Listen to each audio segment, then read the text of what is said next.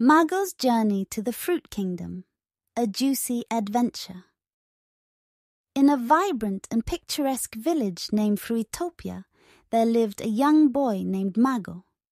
Fruitopia was famous for its lush orchards, where the sweetest and most extraordinary fruits grew abundantly. Among them, the most legendary was the golden mango, rumored to possess magical powers.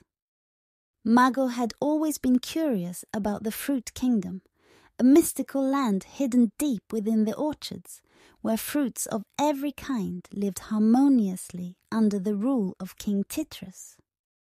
His dream was to taste the fabled golden mango and witness the enchanting beauty of the fruit kingdom.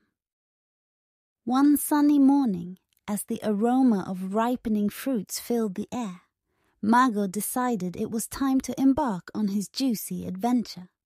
Armed with a knapsack filled with snacks and a heart full of excitement, he entered the orchards.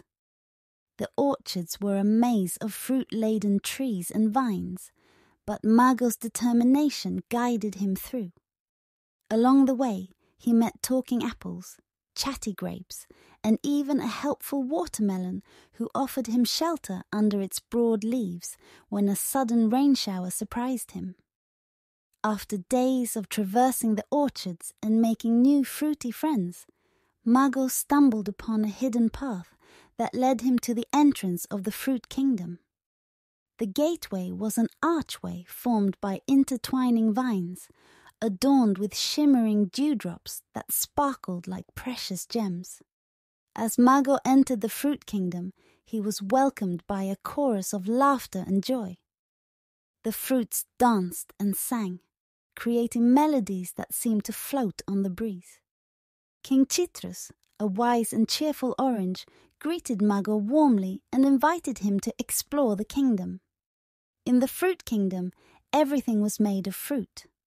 Houses were crafted from giant melons, bridges from bananas, and colorful fruit bazaars lined the streets. Each fruit had its role, from the mango guards to the strawberry storytellers. Mago's heart leaped with delight as he tasted fruits he had never even heard of before. He savored the sweetness of starfruit, the tang of passion fruit, and the juiciness of dragon fruit but his ultimate goal was to find the golden mango. King Citrus, seeing Mago's determination, presented him with a riddle to unlock the secret of the golden mango's location.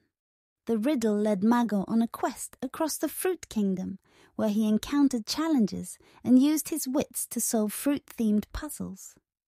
After days of adventurous exploration, Mago stood before the fabled gold